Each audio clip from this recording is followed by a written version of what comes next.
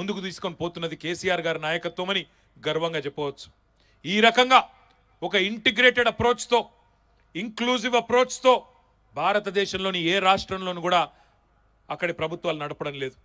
ఎక్కడ చూసినా కులం పేరిట పంచాయతీలు మతం పేరిట పంచాయతీలు రకరకాల వ్యత్యాసాలు పనికిమాలిన పంచాయతీలు పనికిమాలిన పసలేని వినా వివాదాలు తప్ప ఇంత పద్ధతిగా ఇంత సవ్యంగా ఒక ప్రణాళికతో ఒక వ్యూహంతో ముందుకు రా దూసుకొని పోతున్న రాష్ట్రం భారతదేశంలో ఏదీ లేదు అని నేను చెప్పడం లేదు.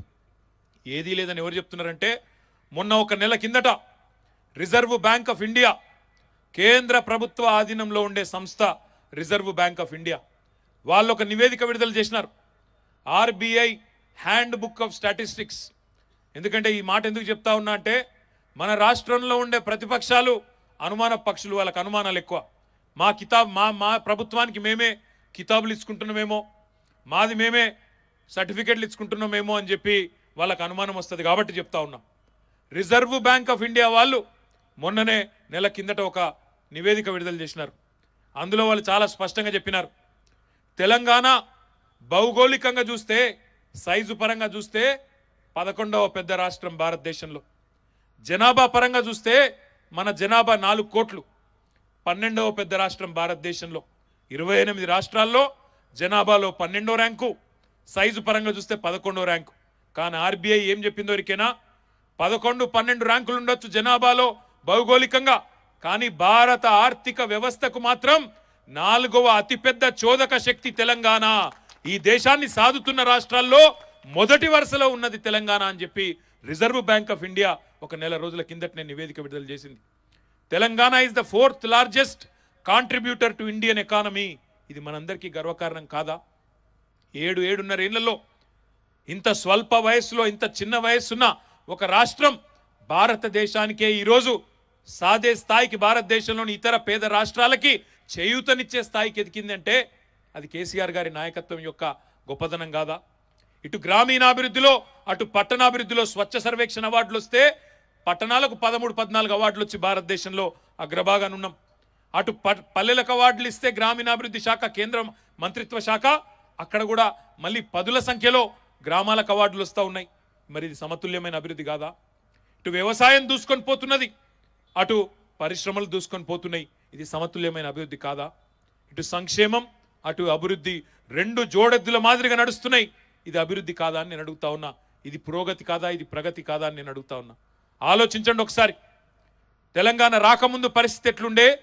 ఈరోజు ఎట్లున్నదో ఒక్కసారి ఆలోచన చేయండి. కరెంటు ఉండేనా నాడు? ఈరోజు గొప్ప గొప్ప మాటలు పెద్ద పెద్ద మాటలు చాలామంది మాట్లాడవచ్చు గొంతులు జించుకోవచ్చు. రైతుల మీద ముసలి కన్నీరు గారుస్తూ వగల ప్రేమలు గురిపించవచ్చు కానీ కనీసం కరెంట్ ఇచ్చిన పాపాన పోయిన రానాడు ఒక్కసారి గుర్తు తెచ్చుకోమని చెప్పి నేను కోరుతా ఉన్నా. రోజుకి ఆరు గంటల కరెంట్ అన్నారు. మూడు గంటలు కూడా ఎప్పుడు చక్కగా అట్లాంటిది ఈరోజు కేసీఆర్ గారి నాయకత్వంలో మంత్రివర్యులు జగదీష్ రెడ్డి గారి నాయకత్వంలో ఇరవై నాలుగు గంటల కరెంటు దేశంలో రైతులకు ఏకైక ఇస్- రాష్ట్రం ఉచితంగా ఇస్తున్న ఏకైక రాష్ట్రం ఎక్కడ ఉన్నది అంటే అది తెలంగాణ కాదా? నేను చెప్తున్నది వాస్తవం కాదా? ఇది రైతుల అనుభవంలో లేదా? దయచేసి ఒక్కసారి మీరు ఆలోచన చేయాలని చెప్పి నేను కోరుతా ఉన్నా. ఇవాళ గొంతు చించుకునే నాయకులు సైజులో మాకంటే రెండు అడుగులు ఎక్కువ ఉన్న నాయకులు మాకంటే అరవై ఏళ్ళు మాకంటే ముందు అరవై అరవై ఐదు ఏళ్ళు పరిపాలించిన నాయకులు ఏం పెంచిండ్రు నల్లగొండలో? ఏం పెంచిండ్రు నల్లగొండలో అంటే ఫ్లోరోసిస్ అనే దరిద్రాన్ని పెంచిండ్రు ఆ నాయకులు. కానీ ఈరోజు ఆరు ఆరున్నరేళ్ళలోనే కేంద్ర ప్రభుత్వమే స్వయంగా పార్లమెంటులో తెలంగాణలోని ఒక్క గ్రామంలో కూడా ఫ్లోరిన్ లేదు దానికి కారణం మిషన్ భగీరథ అని చెప్తున్న మాట వాస్తవం కాదా? ఇది కేసీఆర్ నాయకత్వ సమర్థత కాదా? ఇది వాస్తవం కాదా నల్లగొండ జిల్లా బిడ్డలారా? ఆలోచించమని చెప్పి నేను కోరుతా ఉన్నా. అరవై ఐదేళ్ళ దరిద్రాన్ని ఆరేండ్లలో అరవై ఐదేండ్ల ఫ్లోరిన్ దరిద్రాన్ని ఆరేండ్లలో తరిమింది కేసీఆర్ నాయకత్వం కాదా?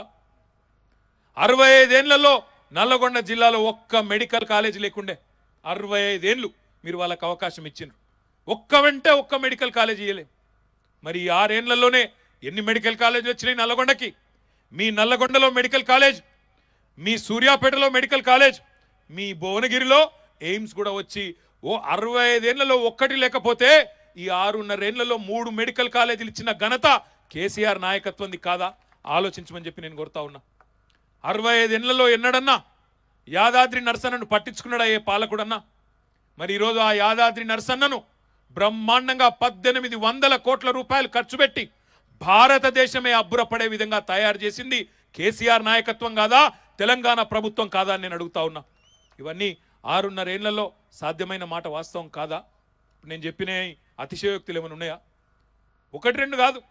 భారతదేశంలోనే అతి పెద్దదైన అల్ట్రా మెగా పవర్ ప్రాజెక్టు మీ దామరచెర్లలో పెట్టింది నాలుగు వేల మెగావాట్ల ప్రాజెక్టును పెట్టింది. కేసీఆర్ నాయకత్వం కాదా? కేసీఆర్ ప్రభుత్వం కాదా? నేను చెప్పింది ఏదైనా అతిశయోక్త?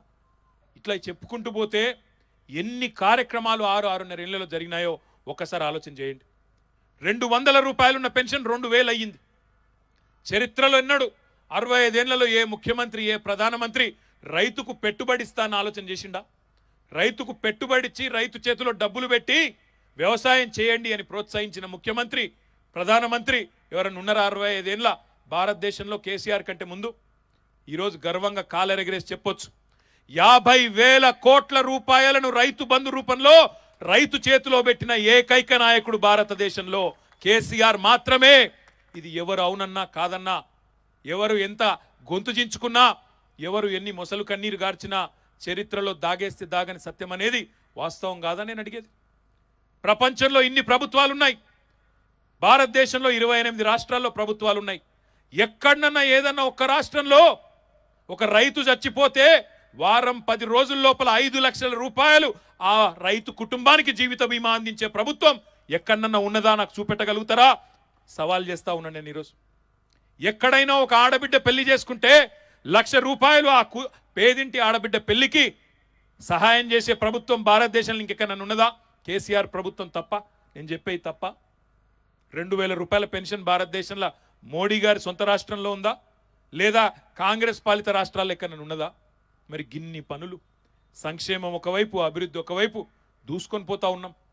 బ్రహ్మాండంగా నల్గొండలో ఈరోజు ఐటీ హబ్ వచ్చిందంటే అది ఖచ్చితంగా కేసీఆర్ గారి పుణ్యమే అనే మాట కూడా ఈ సందర్భంగా నేను విజ్ఞప్తి చేస్తా ఉన్నా. ఎందుకంటే అక్కడ హైదరాబాద్లో మనం ఆనాడు పదవీ బాధ్యతలు చేపట్టినాడు. హైదరాబాద్కు మాత్రమే ఐటీ పరిమితమై ఉంది. యాభై ఆరు యాభై ఏడు వేల కోట్లకు ఐటీ ఎగుమతులు వచ్చినాయి రెండు వేల పదమూడు పద్నాలుగు నాటికి. ముఖ్యమంత్రి గారు మాకు ఆదేశం ఇచ్చినారు. ఐటీ అంటే ఇన్ఫర్మేషన్ టెక్నాలజీ అని మాత్రమే కాకుండా ఐటీ ద్వారా వచ్చే సాంకేతిక ఫలాలు సామాన్యులకు అందాలే. ఐటీ పరిజ్ఞానం ఐటీ యొక్క పనితనంతో ద్వితీయ శ్రేణి పట్టణాల్లో కూడా ఉద్యోగాలు రావాలి మన పిల్లలకి అనే ఆదేశం వారు ఏదైతే ఇచ్చినారో దానికి అనుగుణంగా ఇప్పటికే వరంగల్లో ఐటీ హబ్ ప్రారంభమైంది. ఖమ్మంలో ఐటీ హబ్ ప్రారంభమైంది. కరీంనగర్లో ప్రారంభమైంది. ఉగాది లోపు నిజామాబాద్లో ప్రారంభం కాబోతా ఉంది. అతి త్వరలో మహబూబ్ నగర్లో ప్రారంభం కాబోతా ఉన్నది. మరి రాబోయే పదహారు పద్దెనిమిది నెలల కాలంలో నల్లగొండలో కూడా మళ్ళీ మేమే వస్తాం. మళ్ళీ ప్రారంభించి పోతామని చెప్పి కూడా నేను మీకు ఈ సందర్భంగా విజ్ఞప్తి చేస్తా ఉన్నా. ఇప్పుడు పదహారు వందల కొలువులు వివిధ కంపెనీలు మీరే చూసినారు. వాళ్ళు ముందుకొచ్చి గర్వంగా చెప్తా ఉన్నారు. ఈ కోవిడ్ పుణ్యమా అని వర్క్ ఫ్రమ్ హోమ్ కాదు వర్క్ ఫ్రమ్ ఎనీవేర్ అనే పరిస్థితి వచ్చింది. నల్లగొండలో ఉండి కూడా ఇక్కడ నుంచి కూడా పనిచేసే అవకాశం వచ్చిందని వారు చెప్తా ఉన్నారు. అమర్ రెడ్డి గారు ఇంకా ఇతర మిత్రులు చెప్తా ఉన్నారు. చాలా సంతోషం. ఈ మాట ఎందుకంటా ఉన్నా అంటే ఒకవేళ నేను కలెక్టర్ గారిని కూడా కోరుతా ఉన్నా ఎండి గారిని కూడా కోరుతా ఉన్నా బిల్డింగ్ కట్టేదానికి పద్నాలుగు పదహారు నెలలు పద్దెనిమిది నెలలు పడుతుంది. కానీ తాత్కాలికంగా ఒకవేళ వారు కనుక ప్రారంభించదలుచుకుంటే